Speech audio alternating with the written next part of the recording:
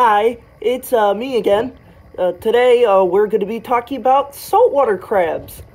So, uh, if you saw my last guide, we went over the brackish uh, mangrove fiddler crab, a easy, common beginner species uh, that is semi-aquatic. But today we'll be talking about fully aquatic marine hermit crabs. Now, there are technically marine fiddler crabs, but they're much harder to find than the common brackish variant. But uh, marine hermit crabs are much more plentiful. There are many species to choose from, such as the thin stripe, which you can see clambering onto our little reef sp species.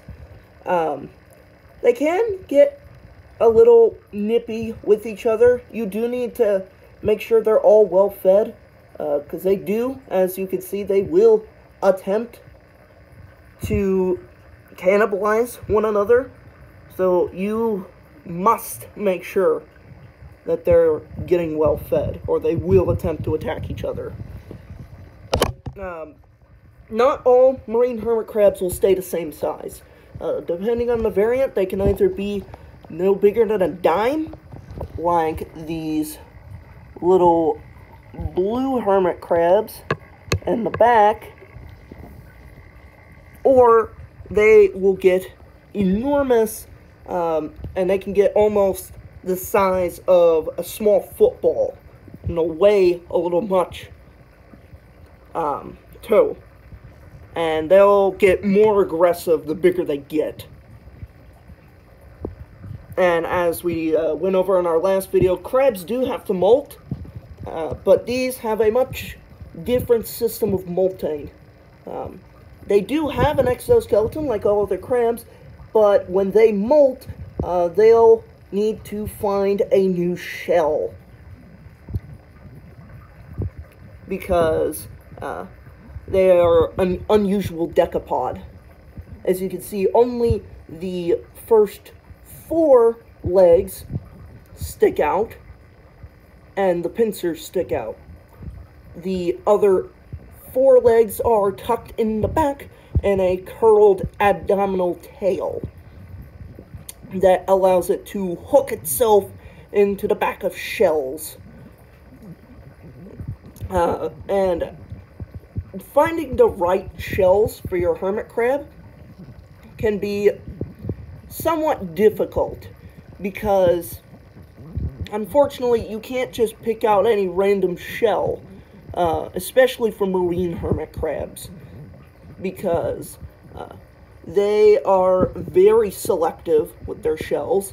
Uh, some will change their shells constantly until they finally feel comfortable. Um, and others need a specific species of snail shell just to keep them happy. Like, as you can see, you have these normal ones that just use the normal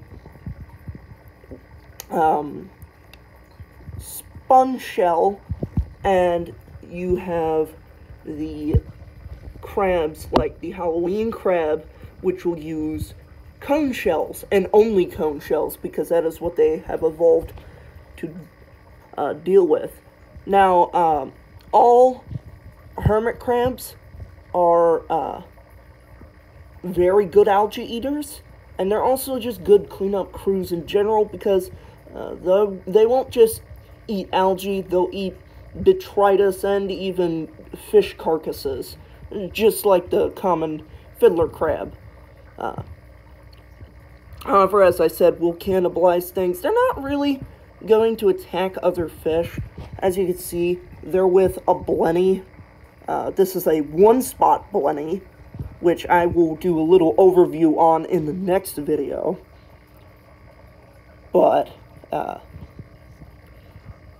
they do just fine. Um, usually the problem is the hermit crab gets attacked by something else. Uh, like, this blenny could easily take the leg off of one of these hermit crabs with relative ease. Um, they're also quite hostile towards other things when they're near their territory. But he seems to be just fine.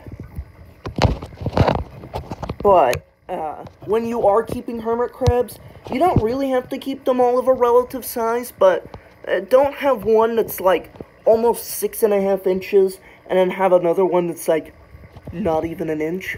It will get eaten. Um, are all of them reef safe?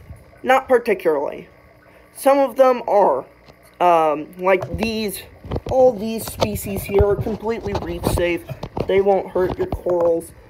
Um, but the much bigger ones, uh, like the spotted red hermit crab, which gets to a massive, almost 30, 20 to 30 inches, uh, will most definitely attempt to eat coral, sponges, starfish, other fish, hermit crabs, other crabs, just anything. Um, so yeah, those definitely are not reef safe. So, what type of algae will these hermit crabs try to eat? Uh, just about any algae. Uh, it doesn't really matter. It can be your normal, you know, run-of-the-mill algae like that. Uh, it can be macroalgae like this. It can just be all sorts of stuff. Uh, the, and they are not picky eaters in the slightest. Uh, they could just technically go off of anything you put in there. Um, clam meat, fish meat, normal fish pellets, algae wafers, sticks. Yeah, but gotta make sure every time, if you're having a lot of them, just make sure food is relatively well stocked.